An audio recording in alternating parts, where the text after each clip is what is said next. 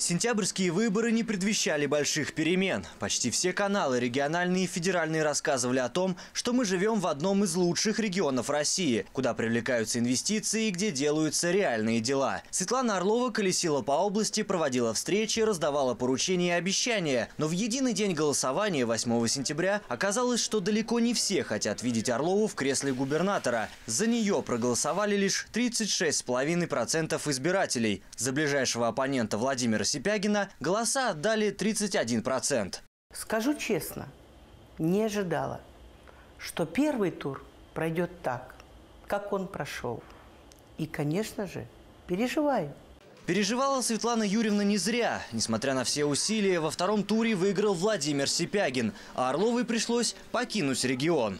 При такой, в общем, невысокой явке оказалось, что равнодушные остались дома, а как раз такие вот э, активные и, и негативно настроенные вдруг пошли и проголосовали.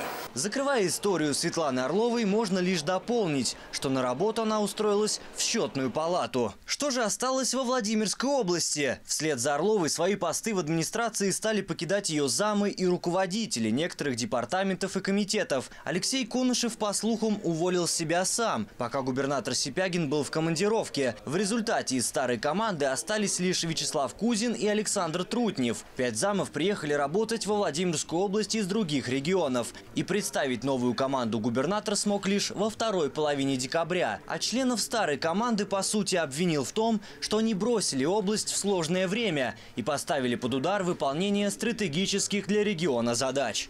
Когда они находились в отпуске и отдыхали, а должны были заниматься важнейшими вопросами, связанными с ускорением процесса по выполнению поручений поручения президента Российской Федерации Владимира Путина по ремонту больницы в Струнино, например, по решению проблем, связанным с переселением из аварийного фонда жилья.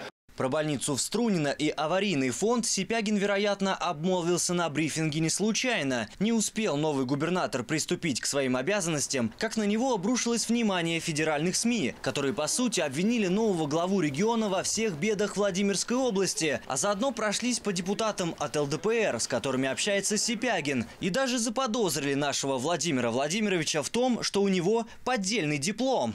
Мы живем с вами в небольшом городе, где все друг друга знают. Невозможно было бы скрыть факт отсутствия высшего образования уже на стадии предвыборной гонки. Все эти факты говорят о том, что высшее образование нашего губернатора есть, диплом у него подлинный.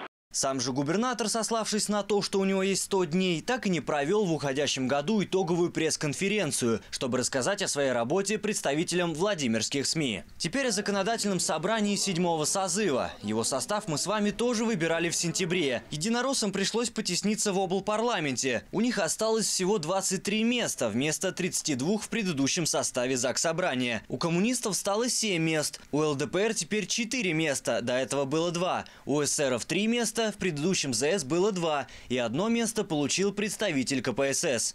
У нас впервые за э, последние несколько созывов будут присутствовать представители не четырех, а пяти политических партий. Хотелось бы, чтобы это разнообразие оно реально отразилось на работе областного парламента. Изменения произошли и в региональном отделении партии «Единая Россия». Из-за перехода на работу в Совет Федерации Ольга Хохлова сложила с себя полномочия председателя. Ее место занял руководитель региональных парламентариев Владимир Киселев. Теперь он возглавляет областных единороссов. И делать Киселев намерен это не из кресла своего кабинета, а работать с людьми на местах. Если человеку партия доверила возглавлять район, возглавлять э, какое-то муниципальное образование, то, соответственно, этот человек не должен почивать на лаврах. Он должен, во-первых, полностью отрабатывать эту должность. Во-вторых, в обязательном порядке уметь общаться с людьми, рассказывать людям, ни в коем случае не бегать от людей. Сама же партия власти после результатов сентябрьских выборов всерьез задумалась о своей работе и решила взять курс на обновление. Его обсудили на декабрьском съезде. А результаты работы как партии власти, так и нового губернатора будем ждать уже в следующем году. Никита Каргаев, Юлия Кузнецова, Шестой канал.